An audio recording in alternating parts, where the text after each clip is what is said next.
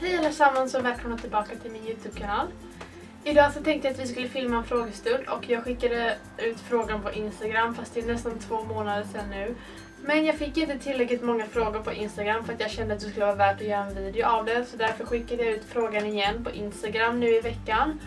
Så, nej, på bloggen menar jag. Så jag tar frågorna från Instagram för två månader sedan plus de sista från bloggen och så gör vi helt enkelt en filmad frågestund här, eller en Q&A som de kallar det här på Youtube.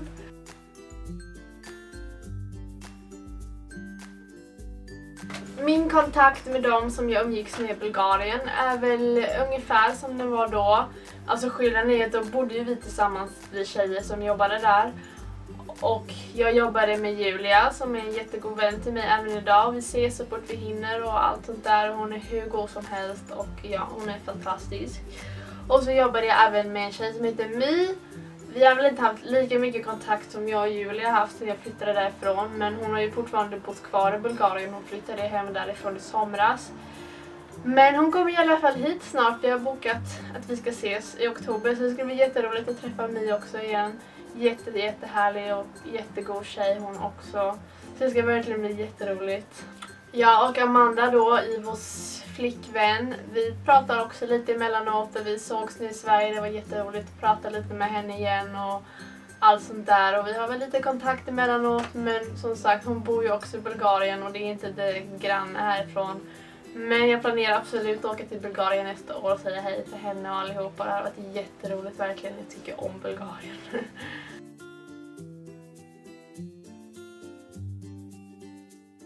uh, ja, alltså det där med att se upp till folk tycker jag är lite, lite klurigt. Jag är liksom inte sådär, åh jag ser upp till han för att han rider bäst i hela världen. Självklart hämtar jag också inspiration från olika ryttare men det jag tycker allra häftigast det är typ folk som har jobbat sig upp från botten till toppen. Typ Erik Lamasse och alla dessa ryttarna som liksom har startat utan att ha haft någonting och är i världseliten. Jag tycker att den drivkraften som de drivs av och allting är så sjukt inspirerande och motiverande. Så det är väl typ dessa typer av ryttare som jag ser upp till och jag ser även upp till Ivo som jag jobbade för Bulgarien. Jag tycker han är en fantastisk tränare och ryttare och han tar fram häst efter häst efter häst från noll upp till Grand Prix och jag tycker det är så häftigt och det är väldigt motiverande och inspirerande för mig också att se.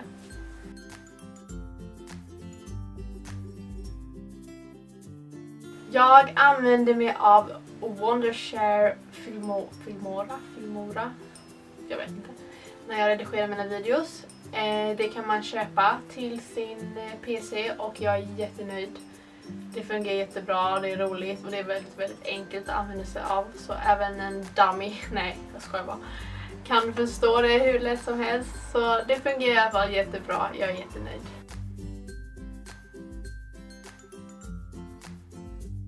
Och innan vi drar igång så tänkte jag bara förklara lite för att jag vet att det är flera av er som önskar att jag ska vara lite gladare i mina videos och ha lite mer energi. Men jag tycker det är en jättesvår balansgång för även om jag ofta är väldigt positiv och framåt och glad och sånt så känns det lite som att jag gör mig till framför kameran om det liksom blir för mycket. Jag ska självklart förbättra mig och se vad jag kan göra så att det fortfarande känns bekvämt för mig. Jag är inte jättevan att sitta här framför kameran heller men jag hoppas att vi kan få till det så att det är lite roligare för er att kolla på men att det fortfarande känns bra för mig. Så något mittemellan kommer det väl bli. Jag ska försöka att inte se så ledsen och sur ut men det händer lätt när jag liksom koncentrerar mig. Och när jag spelar in filmer så är det att jag koncentrerar mig för annars så vänder jag och vrider på mina meningar och allting för jag är inte alls van vid detta. Men jag ska göra mitt allra bästa. Men jag tänkte att vi drar igång med frågestunden och första frågan så ja, ni får helt enkelt hänga med. Alltså dessa frågor om hur mitt liv ser ut i framtiden tycker jag förmodligen är allra, allra svåraste att fundera på. Jag menar, när jag inte trivs i en situation längre eller när jag känner att jag vill göra något annat, då, då gör ju jag det. Det är liksom inte så att jag bara går och funderar på när saker och ting ska ändra på sig eller när jag ska ändra på saker utan jag stannar liksom kvar i situationer så länge jag verkligen trivs och mår bra och känner att det utvecklar mig. Men så fort det inte gör det längre eller folk behandlar mig dåligt eller någonting, då drar jag direkt. Så vad som händer på fem år, det har jag verkligen ingen aning om. Men om fem år är jag 27 år gammal. Alltså det går inte ens att föreställa sig i sin vildaste fantasi, tror jag. Hästar håller jag förmodligen på med förhoppningsvis på ett eller annat sätt, men jag kan faktiskt inte säga. För just nu är jag lite kluven. Vad jag vill göra, om jag vill studera eller vad jag vill jobba med eller om det ska bli hästar så småningom. Men det klurar jag väl ut med tiden men just nu är allting väldigt så förvirrat i mitt huvud. Men det brukar lösa sig om man bara tar en sak som det kommer och följer sin magkänsla.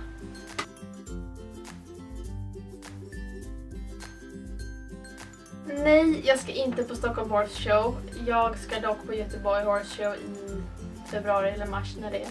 Och det ska bli så jäkla roligt för det är det bästa jag vet. Att träffa alla mina kompisar och folk som bor långt bort i vanliga fall. Alla liksom samlas där och har några fantastiska dagar tillsammans. Nej, det är verkligen så roligt. Men inget Stockholm för mig alltså.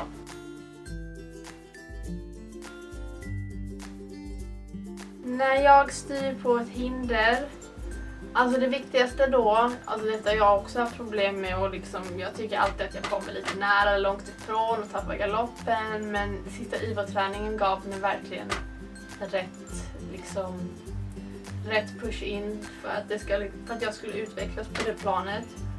Och eh, ska vi se här. Alltså det viktigaste är att du har en bra galopp. Att hästen ska vara framför för skänk, framme för skänken. Och sedan är det absolut viktigaste eller det största misstaget folk gör är att de tappar galoppen i svängarna. Att de liksom inte galopperar igenom framåt i svängen. Det är nog förmodligen det allra viktigaste. Att du har en galopp, håller galoppen genom hela svängen och fortsätter liksom galoppera. Vad jag har gjort är att jag, för det första har jag inte hållit galoppen i svängen och sen har jag börjat liksom ta i dem för tidigt för att jag tror att jag ska kunna se ett avstånd från 40 meter och det går ju inte riktigt. Så mitt absolut största tips till er är att en bra galopp, hästen ska vara framför skänken, galoppera framåt genom svängen. Även om ni tycker att det känns lite obehagligt eller att det går lite för fort så måste man galoppera framåt genom svängen. Och sen fortsätt galoppera fram till hindret. Självklart om man ser att man ligger lite nära eller så får man ju självklart rätta upp sig lite och så men det absolut viktigaste är att man håller galoppen framåt i svängarna. Och att man liksom rätar upp sig och blir stark i sin sits och inte liksom faller fram utan se till att man rätar upp sig och har hästen framför sig. Det är mitt tips och det har verkligen hjälpt mig för första gången. Jag är så glad.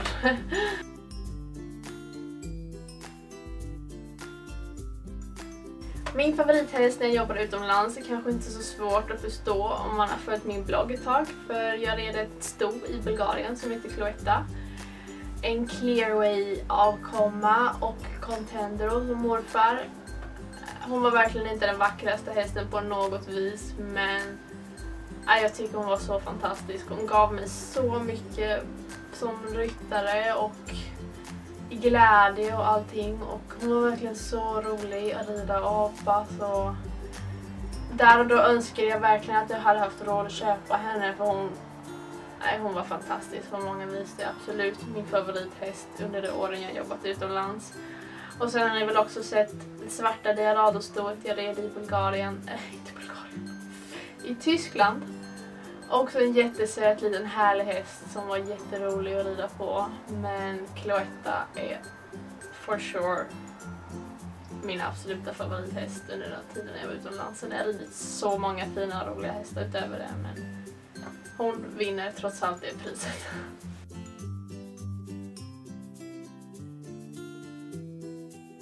Under ett optimalt markarbetspass, alltså det är jättesvårt också att säga.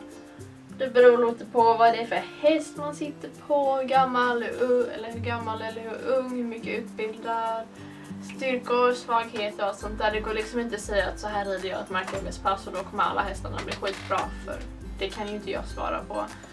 Men alltså det viktigaste är ju att först och främst behöver man inte krångla till det så mycket. Det är mycket basics, fram och tillbaka, övergångar. De ska lyssna hela tiden, de ska vara fokuserade och aktiva. De ska vara framme för skänken, ha framåtbjudning och allt det där. Och sen är det mycket lösgörande för att liksom få loss dem i sidorna och få dem att jobba ordentligt. Viktigt att ha en rak häst så att de inte springer och skjuter ut bogar eller rumpan eller sånt. Och ja, jag jobbar mycket med liksom basen att varje dag liksom kolla att hästen är framme, hästen är rak, hästen lyssnar framåt och den lyssnar tillbaka. Alltså, det är liksom där man får börja. Så är det. Det är liksom grunden till att hoppningen ska fungera sen också.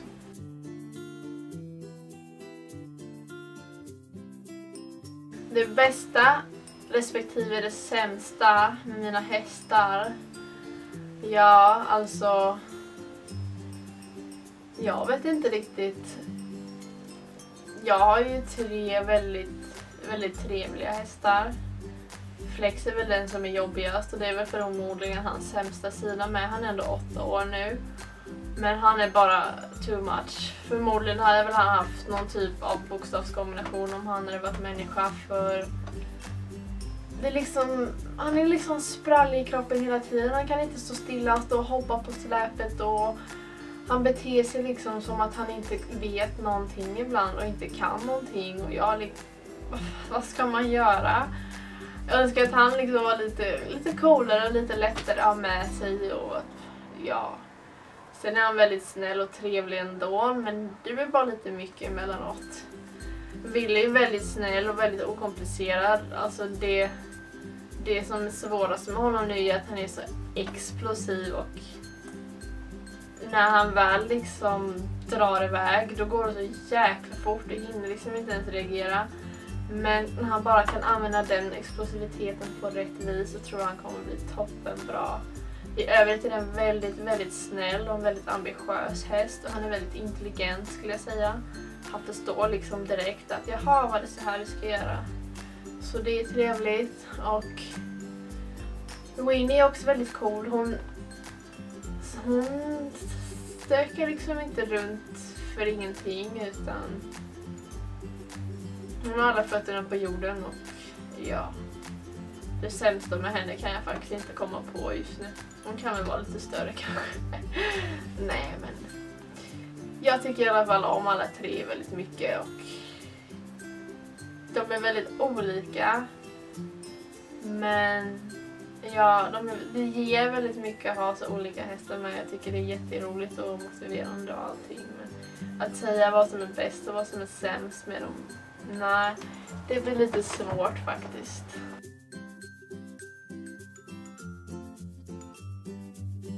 Och då var det det här igen med framtidsplaner. Jag har faktiskt ingen aning. Som sagt, jag är lite förvirrad just nu men Hästarna kommer ju alltid finnas med i mitt liv på ett eller annat sätt och mitt mål är väl att åtminstone tävla 1,40 1,45 helst med tiden men som sagt jag är bara en glad amatör som utvecklas varje dag och verkligen försöker analysera hela tiden för att kunna utvecklas ännu mer. Och rent privat så ja, hoppas ju självklart att det håller mellan mig och Christian och så småningom vill jag ju bilda familj och allt sånt men inte än fått tag. Jag är bara 22 så jag känner ingen brådska överhuvudtaget.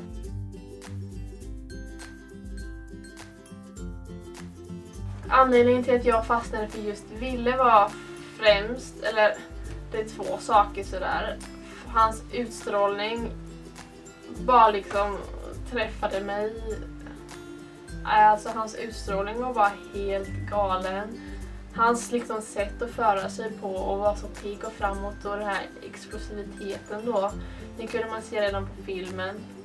Som sagt, vi köpte ju bara Ville efter att ha sett en film på typ någon minut kanske. Och ett par bilder. Men det fanns vissa språng i filmen som jag bara kände att wow, vilken häftig häst. Och hans utstrålning, det är väl främst de grejerna som liksom fick mig att bli så såld på just honom.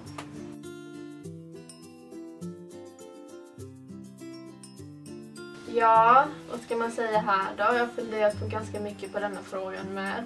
Um, alltså jag har fått utmana mig själv väldigt mycket. Göra saker som jag inte alls känner mig bekväm med egentligen. Vilket har utvecklat mig som människa. Pratat nya språk, pratat engelska först, även behövt prata en del tyska. Och det gör mig egentligen väldigt nervös och väldigt eh, obekväm. Men jag har varit tvungen att göra detta. Vilket självklart har utvecklat mig och självklart utvecklar också en som människa att åka iväg så långt hemifrån helt ensam och behöva klara sig själv när man har bott hemma hela sitt liv. Så ja, jag har väl blivit ännu mer självständig antar jag och utvecklats som människa men jag har fortfarande mina bristningar och gränser som jag behöver pusha framåt hela tiden men jag kom åtminstone en bit på vägen.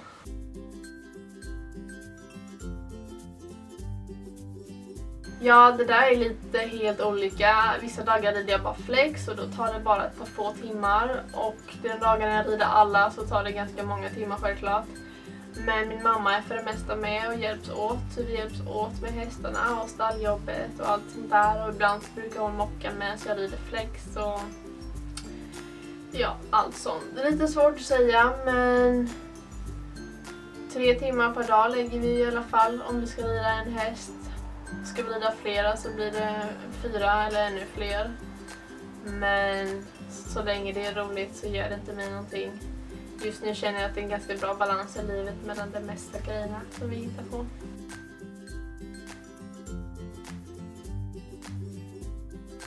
Och mitt favoritmärke på schabrak är helt klart Equiline. De ligger bäst, de är jäkligt snygga och ja, hela min garderob skulle kunna vara bara Equaline. Hela min garderob skulle kunna vara bara Equiline och jag hade varit skitnöjd med det då. Men det var alla frågorna ni hade denna gången som jag valde att svara på. Jag hoppas ni tyckte detta var roligt och att jag framstår som lite mer energisk och glad i alla fall. Jag tycker det är jättesvårt och jag hoppas jag kan utvecklas lite i framtiden i alla fall.